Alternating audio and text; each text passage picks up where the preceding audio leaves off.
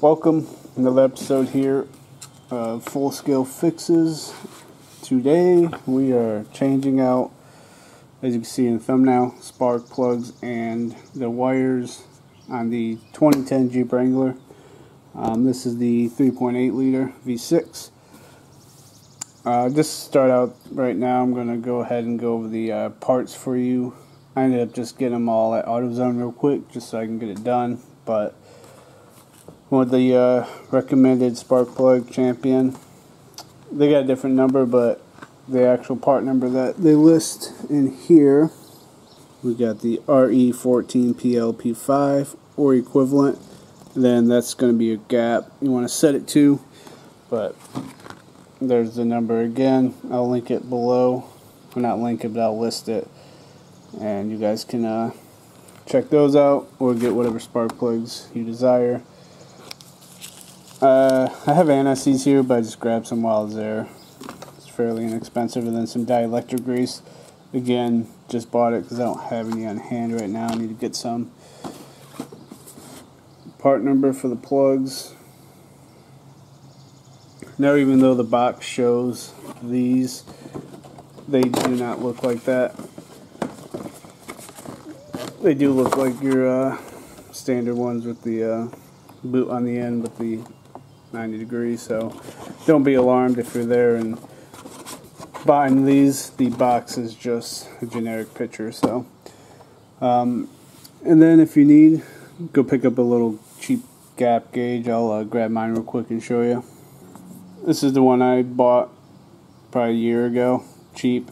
AutoZone has them. They have other types of gappers too, but if you're not looking for anything fancy, you can get one there. So other than that, uh, I'm going to grab uh, socket and stuff and the spark plug socket. Hopefully I got the one that fits and uh, start going through this stuff. So figure just walk through the tools I'm going to use.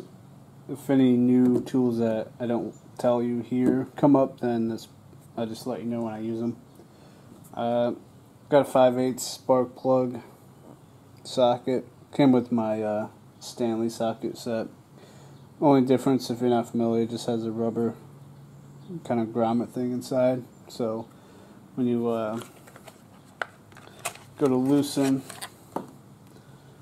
spark plug, this tip part kind of gets sucked into the uh, rubber piece and we'll pull it out a little bit easier. But that's the only difference.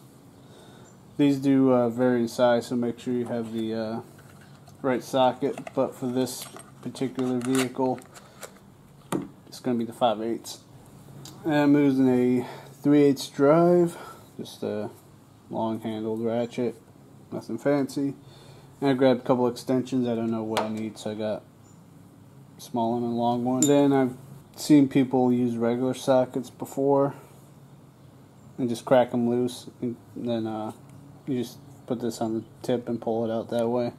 These ones I think are pretty exposed so shouldn't be too hard to get them out but um, we'll do the boot because I never use this. It'll be the first time using this socket out of there finally so I'll use this to start but worst case I'll swap over figure probably won't be a bad thing to uh, show you gapping one of these.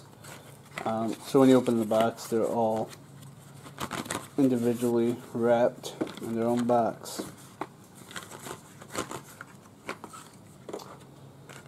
Gonna take it out.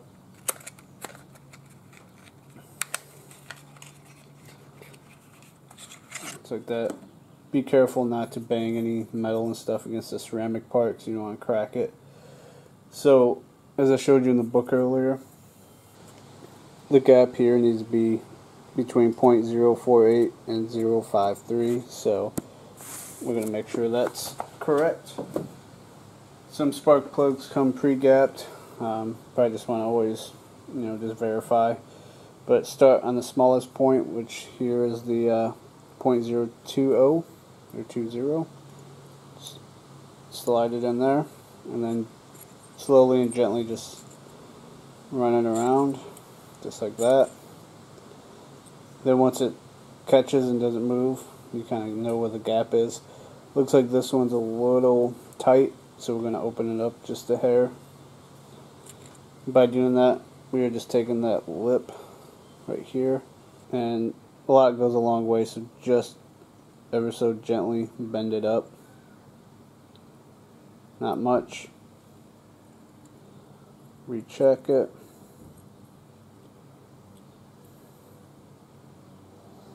That one's about 49.049 now. So I might just do a little bit more because I want a little bit toward 50, just in the middle kind of. So let's see where that gets us. Alright. It's going to be close enough for me. And then uh, if you happen to spread this too much, just take the end and push down on it. Pretty simple. Nothing too crazy. Just uh, got to verify your gaps. Make sure that's all set.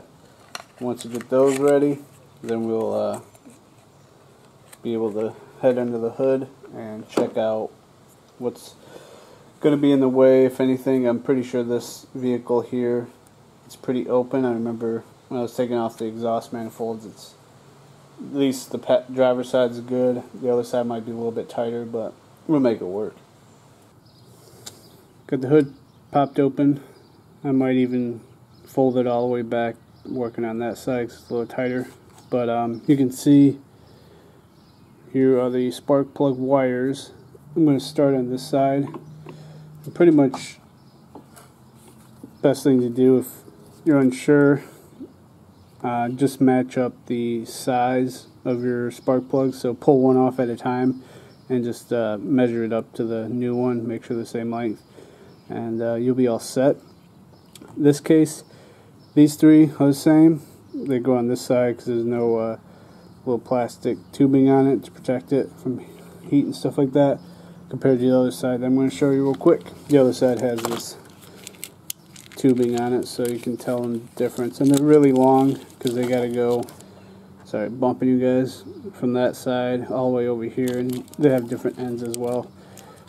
So can't mix them up. So I'm going to do one on this side for you guys and then just kind of fast forward through the other two and then we'll jump to the other side and work on that side. So I ended up buying the uh, Duralast gold ones.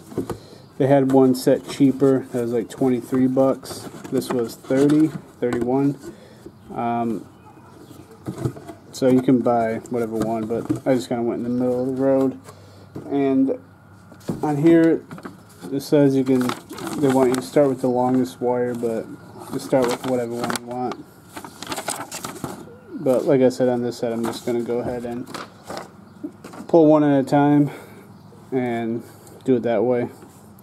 And also this does come with some dielectric grease in the plug wires so you don't need to buy some but if you want to have extra just in case you can always do that like I did. But I didn't know it came with any so I already cut that. And can't tell you the price on these spark plugs because I threw the receipt away and I don't remember looking so but they're not too bad. So just for the sake of this video I'm going to start just on the bottom. This is the longest one on this side so we're going to go ahead and pop this top on. Before I get too deep into it, I want to grab uh, some gloves because I'm going to be doing other things probably in the middle of this stuff. So this top one, we're just going to wiggle it loose here. Just like that. That pops off. And then these bottom ones might be tough. You don't want to pull on the cord. You want to go down on the boot and pull them from down there. And you can see these are the uh, are the originals, Mopar. They're actually labeled number six, and you can see six on there, and so on and so forth. Uh, generally, when you want to do this, just check your owner's manual on what mileage you should be changing your wires and spark plugs. But generally, according to Google, it's between 60,000 miles and 100,000. Uh, this is at 87,000 right now, so almost in the middle. So this first one I'm just going to go with the regular socket here. And then on these other ones, I might try the uh, actual spark plug remover socket, but seems to be a little hard to get back on this one, so.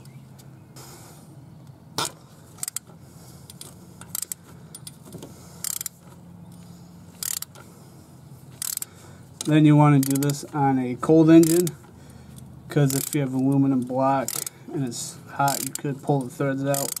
So make sure your engine's cooled down or cold.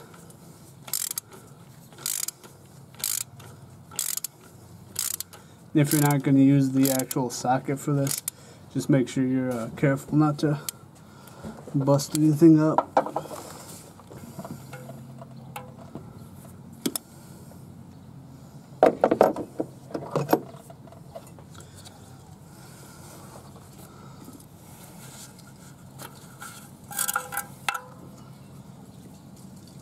one spark plug.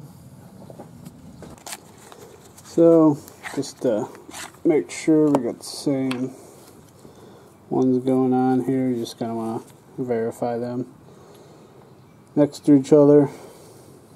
Same brand and everything, so good there. If you guys want, you can uh, mark, like punch a hole in a cardboard box and stick these through and then just uh, keep them in order so you can go ahead and look at them after you're done. But if not, you can just uh, chuck them back in the box and pitch them. In my case, though, I'm just going to mark 6 because that's what it was. And then I'll just go ahead and check those out when I get time later in the uh, day or week. So now I'm going to go ahead and prep the boot again, if you're unsure, just uh, grab a similar size one and measure them together. Like I said, this one's the longest one on this side, so it should be,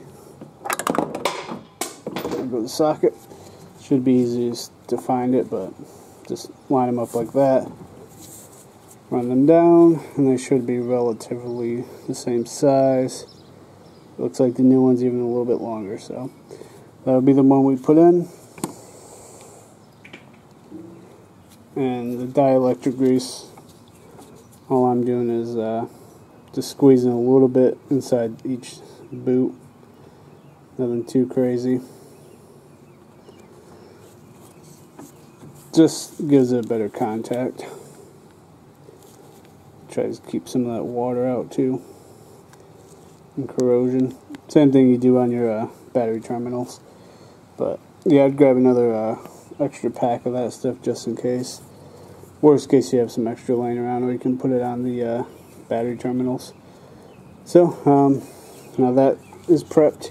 You can also blow, take compressed air or something, and blow out the uh, area where you're working, get all the debris and stuff out.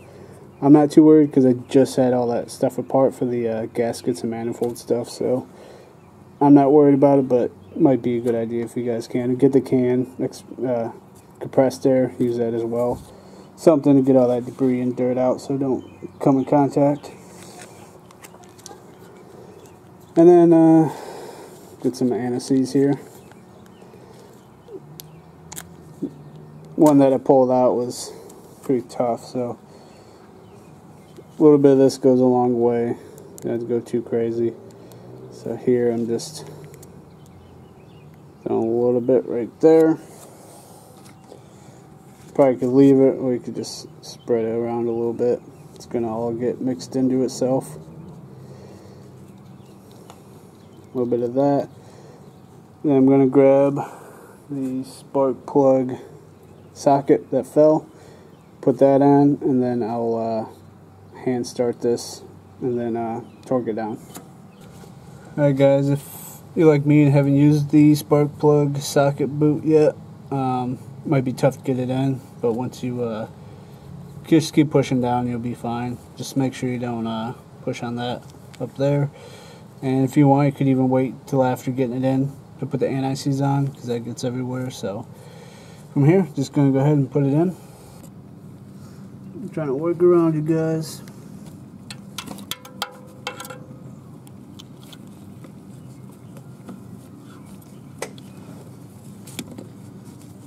Like with everything, it's important to hand thread it in there just to make sure it's going in nice and smooth.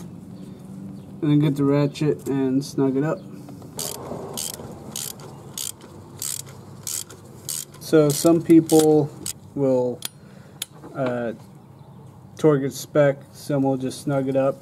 If you want to torque it spec, um, you can double check it, but every form I've seen said 12 foot-pounds, so that's what I'm going to do.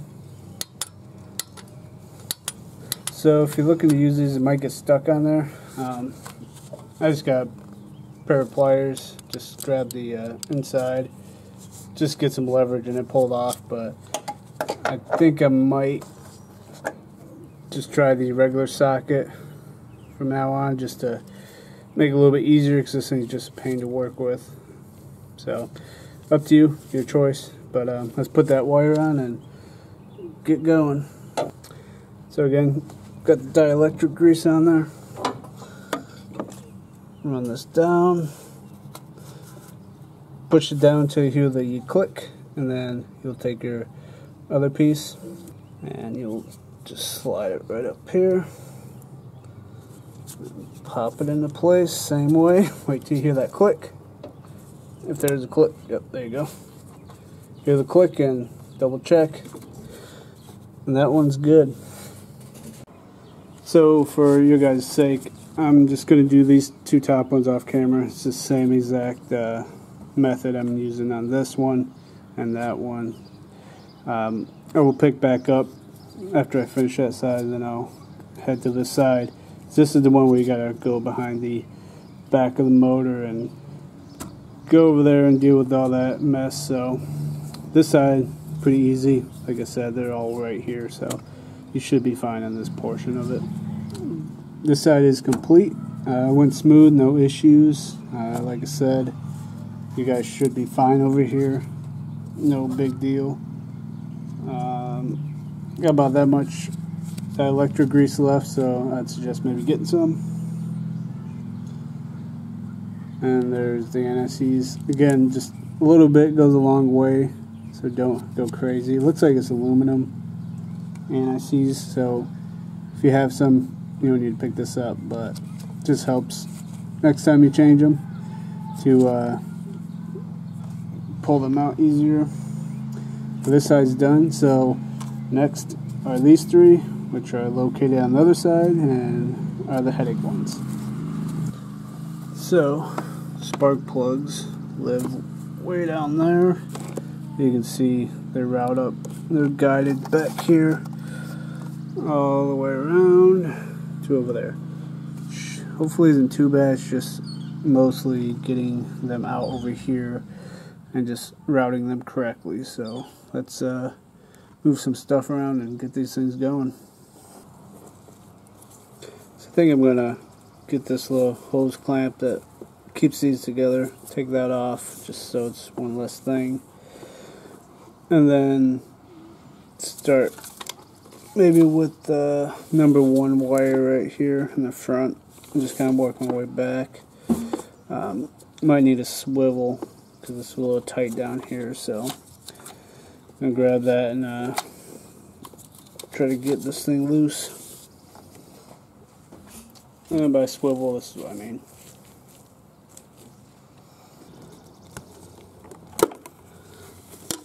Guys are getting that loose.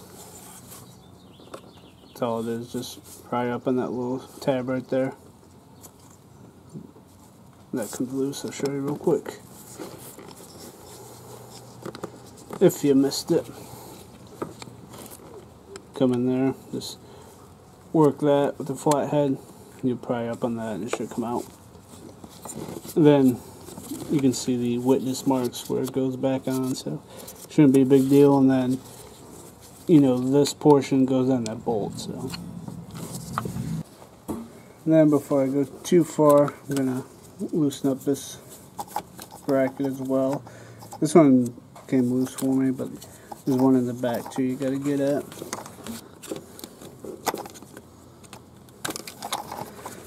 Okay, I did that far back one. This is the very front one. There's three in total. Should be, if we can get a flathead under here, just work it under. There we go. There are tabs, so be careful. Try not to break them, but that will now release that wire all the way up. I'm going to go over there on the uh, number one side and unplug that. So that one's free. Going to go ahead and uh, fish that one around to the other side.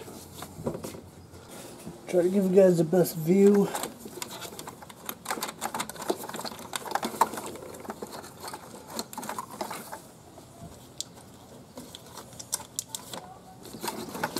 By the way, I did uh, fold the hood all the way back on this side so it's a lot easier to work with compared to if it wasn't.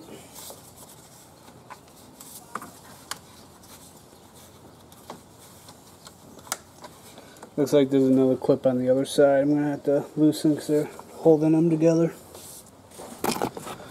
Try to show you guys real quick. Right there is another clip we're going to have to get loose. Looks similar to the other one, just on that edge right there. Looks like you can pry it open with the flathead, so I'm going to do that. And uh, hopefully that's the only clip back there. Okay, so decided to cut the camera off because this is the bracket I was trying to get over there. It sits like this, but basically it's kind of tough to get to, and I decided why not pull all three and then make sure you know how they're laid out here, which is 1, 3, and 5. If you want, you can do it like that. Um, and if you have factory, they say the numbers on them. But then this bracket that you pull off also has 1, 3, 5, so you kind of know how they go through the grooves. This sits on here like this. So you'll see it. These these just go onto the uh, valve gasket top of the bolts. So you'll see it, but it sits like that. Be careful because like mine's brittle and that back one's dangling by a thread, so I might rip that one off, but zip tied or something. But those are labeled. This is not labeled. And then just make sure you know how they go on the motor itself, which again, 1, 3, and 5 if you're looking at it this way. I'm going to lay these out for you guys and kind of give you the, lengths of each one. So maybe give it you guys a little bit easier time. So you can do it your way, but I found that easiest. Just pull the three here and just from that side pull all those out and just uh, make sure they don't get caught up over on this side so try making these as even as possible the longest one over here is going to be your number one. And that's in the middle here going down. Second longest will be number three. And then of course the fifth one will be your shortest one. So just a little heads up for you guys. Hopefully that helped. I'm going to put it back together off camera just because routing it, you can't really see anything. And it's the same process as the other side. Just um, maybe have to use a swivel on the spark plugs because it's kind of tight in there. Um, if you want, you can do a bungee like I did here. And just bungee it up just to hold those uh, two hoses back. But up to you. I'm going to get that all done. And then if I have anything weird or different that I have to do. I'll let you know at the end, but for now I think the swivel on these spark plugs might be the only difference. Alright, so I wanted to do a quick update. So after I pulled the wires all out, I went ahead and tackled each spark plug. Um, use a swivel socket on all of them. The only tough one really was this back one right here. And really wasn't too hard getting it put in and started. It was mostly just getting it out. If yours isn't stuck too bad, probably have too much trouble, but this is the setup I did down there. And I did crack the ceramic on the old one, but luckily it stuck in the socket. It wasn't too bad. So be careful on that. But on the other ones, I did the swivel and a short short one like this.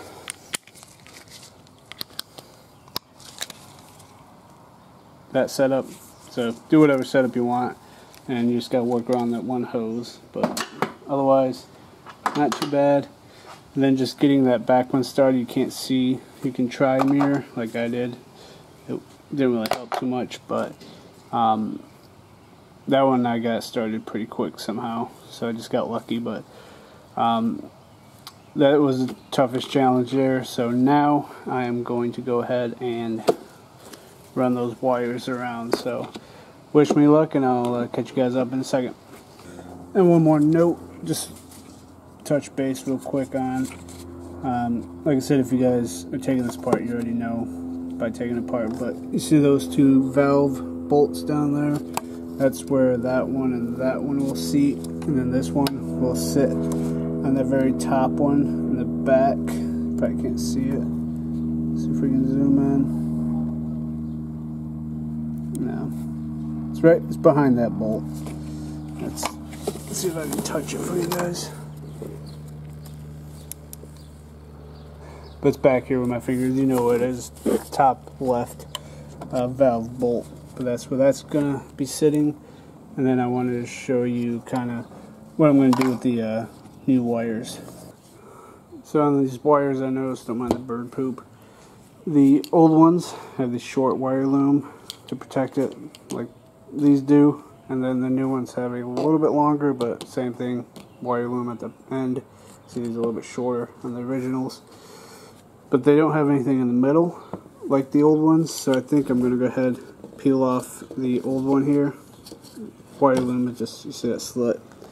You just peel it right off. I'm gonna put those in the middle and then um, I laid these out. So I took a paint marker and put the number so when I run them through I'm not confused on which one's which I'm going to do the same on the other end even though the different lengths. This will just make it easier for uh, when I go and run them through. Cause who knows what's going to happen and if they're going to get twisted up underneath behind the stuff. So just a little trick.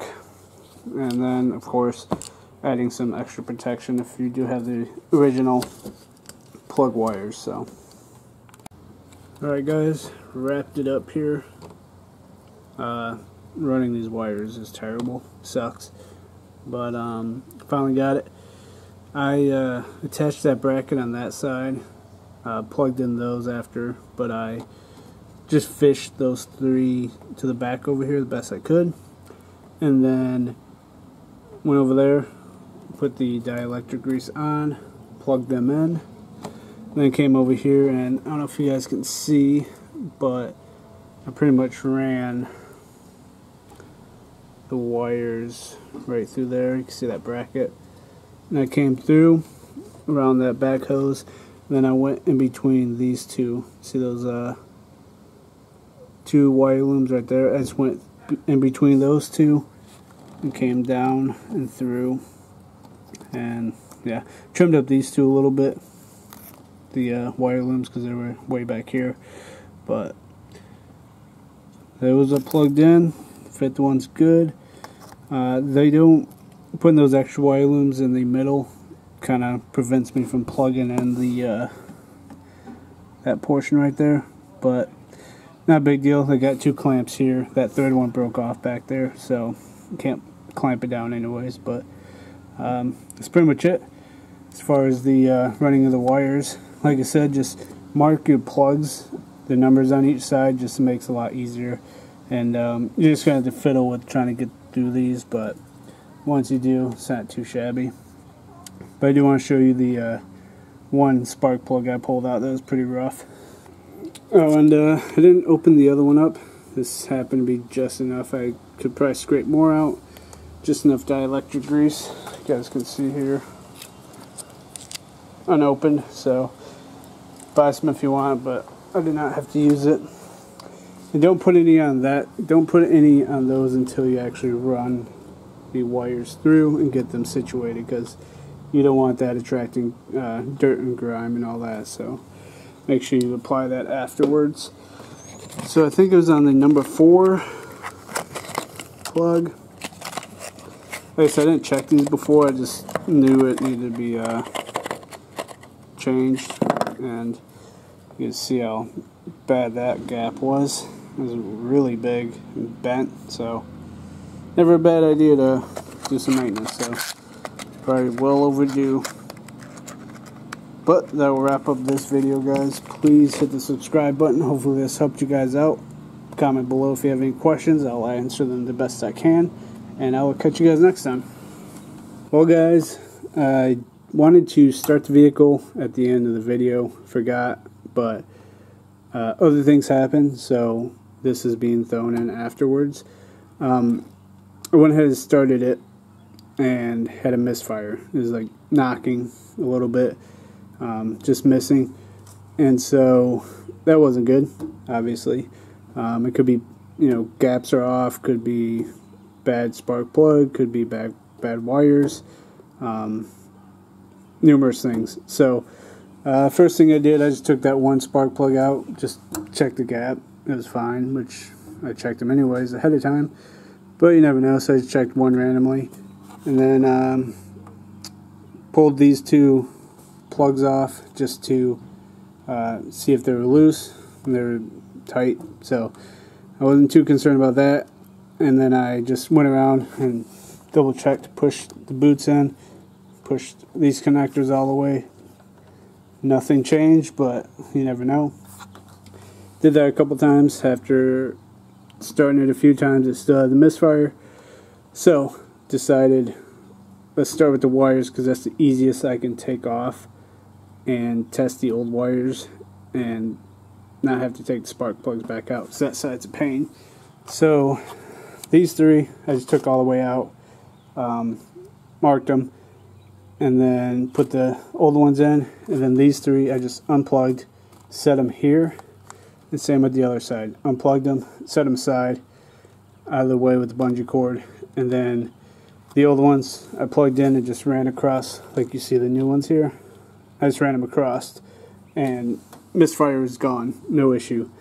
So, unfortunately, had to pull the wires off, um, cleaned up, you know, the paint marker, made sure they looked decent. Went back to AutoZone, tried to get replacement with the Duralast Gold. They did not have any more of the gold, so I purchased the $23 ones, uh, like seven, eight dollar cheaper ones. Um, that originally was going to get anyways, but they had these in stock, so I got some cash back. These, um, they don't come with your little wire looms, the plastic. I noticed that, and then they really give you even less dielectric grease. That's a little dab right there. So that's the only real difference. I'm not too concerned. I could just throw the uh, wire loom from the old one on like I kind of did on the other set. So not a big deal. Saved eight bucks. And I tested these ones before running these to the back. I just did what I did before. Ran them across. Did the same over here. I'm going to start it for you guys just to show you that it does run smooth now again. So that's a bonus.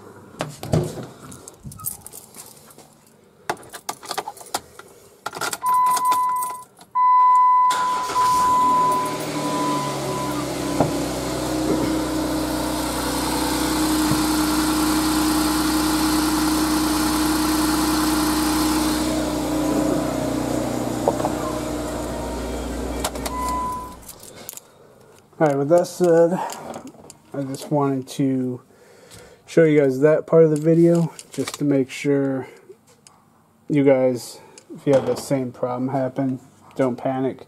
Um, go ahead and start with the plug wires first because those are the easiest to test. And as you can see, I had a defective set, so um, is what it is. Uh, you know, nothing's perfect, especially working on vehicles. Never goes smooth, but um, these work. I'm going to take these off and reroute them again, um, and then put some dielectric grease on the inside, and that'll wrap this up again. Glad it worked out, and I will uh, catch you guys next time. Please subscribe again, and enjoy your day.